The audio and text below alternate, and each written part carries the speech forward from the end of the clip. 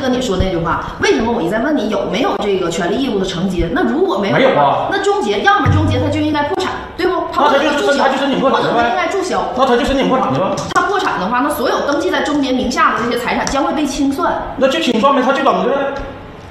他正常，他就是他就申请呗，那我就没办法。你你是主应该是主法官对吧？你来了，现在你既然说这话了，我也没差这点儿。我跟你说啥意思啊？我就这一句话，他要同意他就同意，不同意，那你们爱咋办就咋办，我没办法。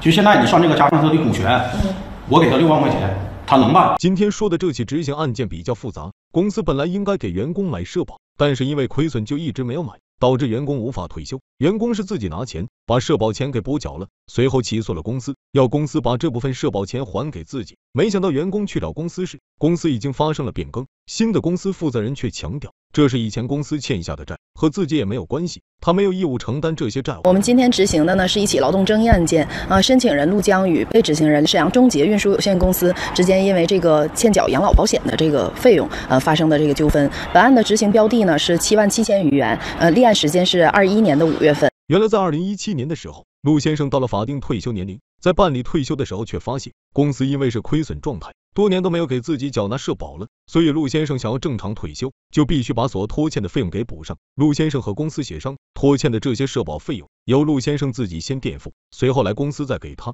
没想到自己垫付了之后，公司却不给自己，所以陆先生将公司再告上了法院。法院在二零二零年做出了判决，要求公司支付给陆先生垫付的保险费用七万六。二零二零年判决下来以后，公司还是没按照判决执行，所以陆先生向法院申请强制执行。立案执行之后呢，法院对这个被执行人公司名下的土地和厂房进行了查封，但是经查，呃，这个被执行人土地和厂房已经被其他法院首先查封，那么我们院是作为轮候查封，呃，查封了上述土地和厂房。但查封之后呢，也一直联系不到这个企业的负责人来解决这个问题，多次到了现场，现场呢也都是租出去，呃，不是这个企业的负责人在这儿，呃。原来公司的法人齐先生是欠了不少钱，这公司的厂房和土地早已经被其他法院给查封了，所以陆先生只能看其他法院处理后能否有剩余的款项，如果有才能轮到他。执行法官也一直找不到公司法人齐先生，但根据陆先生提供的线索，现在公司换了位新的负责人宋总，宋总表示愿意解决这个事，但是双方在社保费用上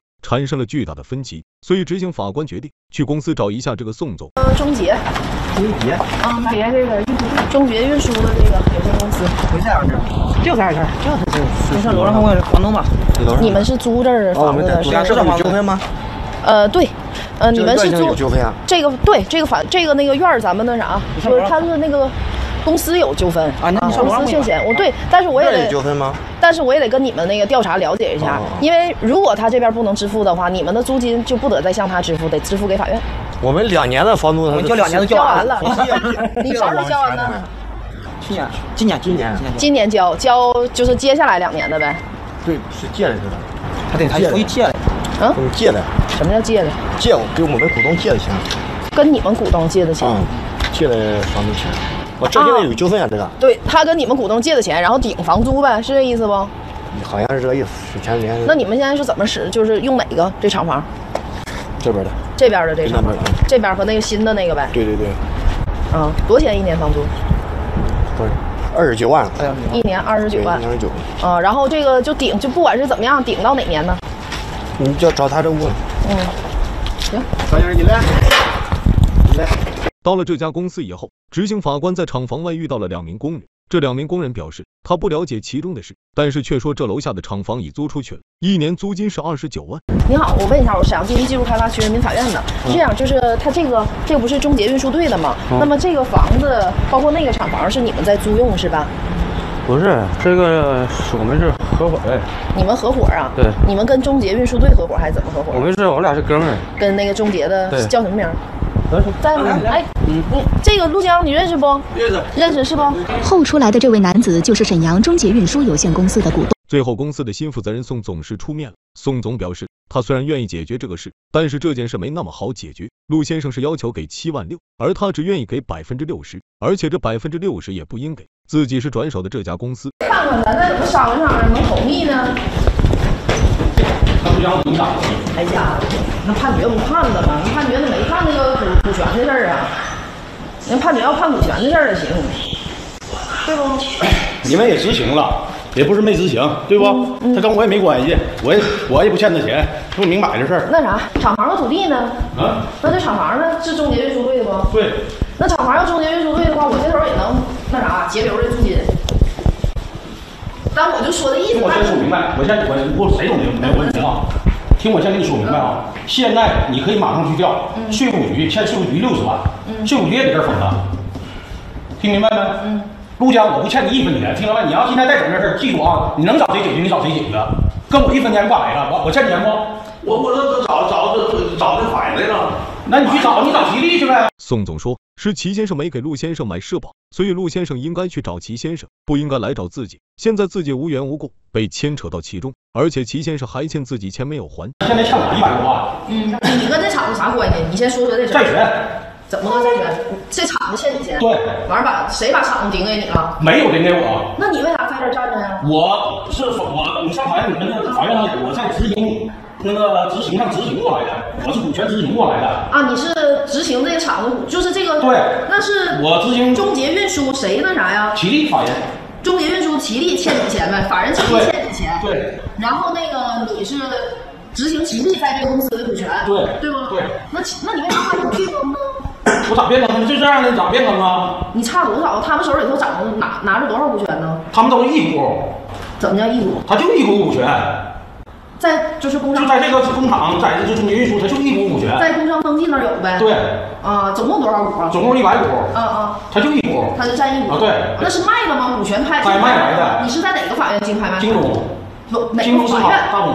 大东法院拍卖，你取得的这个股权。对。啊，然后取得股权了之后，齐力手里手里头有多少？齐力是二十二。齐力百分之二十二。对，百分之五吗？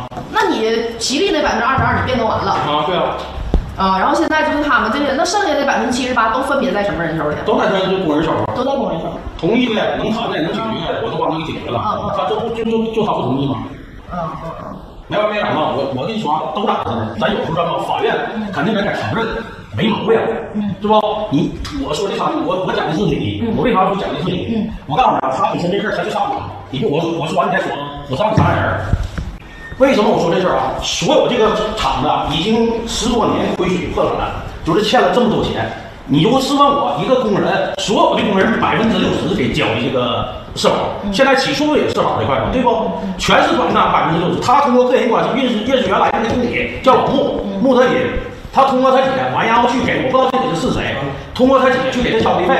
到现在你都不承认，他是按百分之百。原来宋总之所以是这家公司的股东，是公司的法人齐先生欠了他的钱，所以他向法院申请强制执行，把齐先生的公司股份执行给了他。所以他觉得之前齐先生没给员工缴社保，应该由齐先生来负责，不应该来找他。可没想到现在自己取得股权之后，反而麻烦落到落在自己身上。现在他想把陆先生事解决了，自己好安心的做事。但是双方在金额上面却谈不拢。之前公司按照百分之六十给员工交社保，所以他也想来支付百分之六十，但是陆先生却要求百分之一百，所以双方没有谈拢。这人找着他他姐给写那个，嗯，同意自己承担百分之四十，但是当时法院百分之百分之四十跑了，按百分之百，他就按百分之百。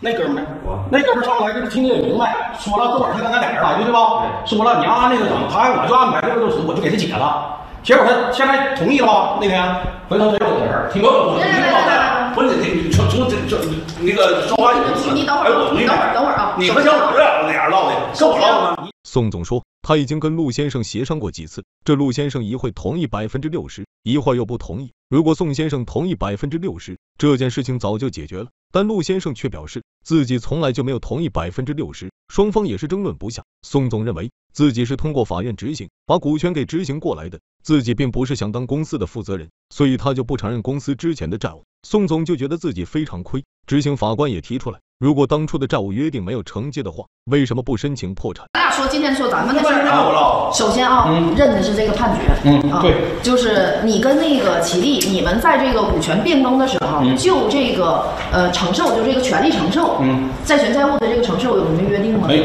没有什么约定。我不负责这块。那你承接这个公司，你又没有给他进行这个变更登记，那你虽然是从那个啥拍卖上取取得的啊。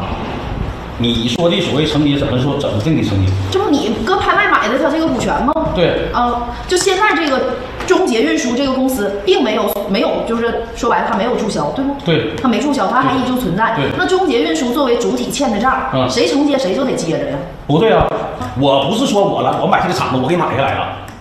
听明白吗？你你到你那个法院，你一调就有有咱们那个就大同法院呃申请执行申请拍卖，京东司法拍卖过来的。但是你现在是这个股东，是百分之二十二的股东，对不？我现在百分之八十五。百分之八十五，对是中捷运输百分之八十五，对对不对对啊，嗯，但我没有意见，我因为我也是执行过来的我。还是跟你说那句话，为什么我一再问你有没有这个权利义务的承接？那如果没有没有啊那中捷要么中捷他就应该破产，对不？他那他就不应该注销，它就申请破产呗或者它应该注销。那他就申请破产去了，他破产的话，那所有登记在中捷名下的这些财产将会被清算，那就清算呗，他就等着呗。他这么整，他就是他就申请呗，那我就没办法。看怎么能谈。我告诉你不是谈不了是职工问题，对不？听我说，法官啊，我现在我也尊重你法法院的意见，也尊重你法官的意见，我就要求一个实事求是，就都是按百分之六十的，你通过个人关系，你还有那个条，你就百分之百，谁给你百分之百啊？凭啥给你百？我又不欠他钱，我凭什么给你拿这百分之百？说白了，我都我都不爱跟他记着，每回告的都写的，我你凭啥告我呀？就是按判决执行。是你按判决执行，那你就直接让他申请拍卖呗，让他申请破产吧，我也愿意申请破产，他。这个土地和厂房你查封没？查封了，上次之前说是两块儿，两块都挺大的，完了要都封是一套小的，对吧？当时是。咱没说封小的，封没有查封。这今天多亏是带记者来了，嗯这要是不带记者来，那回手我今天干的活又都白干了呗。咱我现在我说的这个事儿是，就是说查三块地，你们知道对不？知道知道选封哪块是你们选的不？选封哪块咱我写的申请搁这里有没？看来你相应的份额，相应份额你如何确定啊？你这七万块钱值多少份额啊？咱这个就是你知道按那个不？你知道这个土地你知道现在开发区土地是多少钱一平不？七万块钱值多少份额？封多少平？他封了三十一平。不知道。他封的是厂房，那是厂房。这个还欠哪的钱？土地厂房除了国家这块还欠哪？我不知道他原来的欠谁钱，我真不知道，我真不知道。你现在楼下是怎么个租法？啊，现在楼下怎么个租法？这个厂房怎么租？呃，一年六万，几个？全全连的了。那楼下我刚才问是二十九万呢，嗯，一年二十九万呢？他咋说二十九万呢？对，他说一年二十九万。执行法官刚来的时候，有两名员工说厂房一年租二十九万，这个时候宋总却说一年租六万，到底谁说的是真的？法官说二十九万呢，你不是我给你开房这开六万，你是个人借的罚二十万吗？谁说的？他说的呗，法官说的呗。什么租金？啥时候是我说的吗？楼下的那俩他说那都是胡说八道的人，他都不知道怎么回事儿就说，这他当你面问的，那发票在 呢，这是。对对对，这是咱俩不清楚，他俩开合同，完了就知道这是房租多少钱，你知道吧？不是，我说我没有没有这回事。你们要是说的隐瞒吧，就没意思。没有隐瞒没有隐瞒我要是说再说搜，那是不是咱就犯不上？你听我说啊，我现在再跟你说一遍，说这个这个东西，我现在有他打的跟他那打的欠条，我是借了二十万，他们可能底下人的工人不知啊，道。我是借的这个，这借的这轱辘我听着了。你听我说啊，人打的我也没我我要打电话没打呢，这也不能我也没发信息，这电话打的。现在就说这事儿，你们来了，我不浪费你司法资源，你想解决我给我帮你解决，这事儿只我帮，因为我不欠他。宋总说起和陆先生纠纷这个问题这么久，就是因为陆先生总是变来变去，谈好到百分之六十，现在又不承认，但陆先生还是强调自己从来就没有同意百分之六十，必须要百分之一百的给自己。现在事情已经非常明确了，宋总也愿要承担这个事情，但是就是在承担的比例是多少？当时跟我要了要了多要五千块钱有这事儿吗？哎呦，我当着法官面说有这事儿吗？是我是是是照着我要的，你们照着我谈的，你们法官咋的了？我还合计在哪儿咋没动静了呢？搁这等着呢。那怎么回事？这个不是不给他解决，他也同意了。来来来，你要是解决的话，解决的话，你今天打算怎么解决？如果说谈解决完，咱往和上这个谈法官，我得先问你明白，你是指定我谈，还是就是让按法律上，就是拿法律上，就是你谈不谈是你的事儿，对不？我得是先这么说。如果说以你现在刚才我这么理解，你说这事儿能谈不？说要找我谈，我能谈。嗯嗯，我也不愿意浪费你司法资源，我也不让你这一趟一趟的。你们那哥们儿来，咱痛快吗？磨叽呗？我现在是啥意思？要说让我谈，尊重事实，全都是百分之六十，你就回到百分之六十，对不？你是说按那个七万六的百分之六十啊？对啊，七万六的百分之六十。就是按你们法院判那个数，嗯，判那个数是按百分之百判的。嗯，咱点讲理，工工人工人交这个企业是按百分之六十都给交的，按百分之六十我可以给他解决，解决这件事儿他有要求，我也有要求，对吧？他拿着一股，他你知道你知道他他干啥了不？他这三年他他操纵所有的工人去上法院，你你查你记录，连名告告诉我告诉两三年，就这点事儿，人没告诉都解决了，不是不能给他解决，能。明白我说的意思吗，法官？给你让了是不？对他，他就这么这么跟你闹，怎么解决？解决不了。那个你坐坐一会儿，坐一会儿在那儿坐着。那个陆江你也坐着。对呀，你上那儿坐着。陆江你找坐着。宋总还是坚持只愿给百分之六十，因为以前公司给员工缴的也是百分之六十。现在问题将在这里，如何向前推进呢？执行法官是给了一个提议。我提个建议啊，你看看行不？嗯啊，陆江，包括你也在这儿，我跟你说清楚，别管你是查封三十平还是查封三百平，它这个房子上和土地上有其他法院的查封，咱们是轮候，我没有处置权，我拍卖不了他的房产和土地。这个你听清楚，如果在我拍卖，他也没有什么生产设备，我要是能拍，可能说这屋里头这些玩意儿我拍一拍，这也不值钱啊。这个我个人的啊，对，还可能这都是人家个人，不是公司的啊。所以说，我在启动不了房产和土地的拍卖情况下，启动我没有权利启动的这个情况下，你们如果说的呃要执执意这个执行的话，那咱只能说得找齐力。我说居齐力是怎么的？就他现在。我拘不了他。我的建议是给你们调一调，啊，给你们调一调。至于说你手里拿的那个一股，你那一股没有用。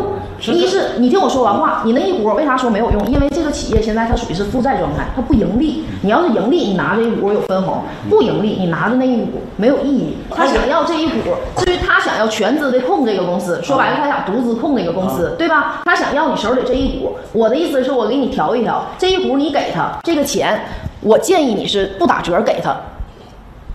法官不是我，我同意。听你这种想法，我同意。嗯，不可能，这东西我我就追求一件事，我也挺犟，我挺犟啥，我就尊重事实。就是我说百分之六十，我肯定给他。那我股钱呢？我跟你说，股所有的股东，我也不瞒你，他的工人咋的，我我不我对他能说话啊。所有的工人全部都是五千块钱，能给我的，全都是五千块钱的股一股一股给我的，百分之六十我全额给他，那一股我也给他五千块钱。你听。现在宋总是强调，之前公司是给员工交的百分之六十的社保，他就应该给陆先生百分之六十，自己就坚持认这个理。但是给员工缴百分之六十，是否是合法的？这还存在着一个巨大问题。是，其他工人确实是百分之六十，但是咱说一个讲理的事儿，公司应该百分之六十给股东、给工人们交保险吗？应该吗？法官，这事儿我要跟你说啥？劳动法里头有有三个档，嗯，就是企业不好了，这企业为啥啥也没有了？他们都知道，这会儿卖的啥，就是破铁片子都卖了，去给他们交，就是交账了。嗯，我我也不知道这事儿。我买完这个股，因为吉利本身是欠我钱，到现在还欠我一百多万，没法说了，人都快死了，我听说。听明白我说那意思没？我就是手场面的，没办法了。我要点要，不要点要，我也没办法了。我要给他们解决这事儿，所以说都是那么解决。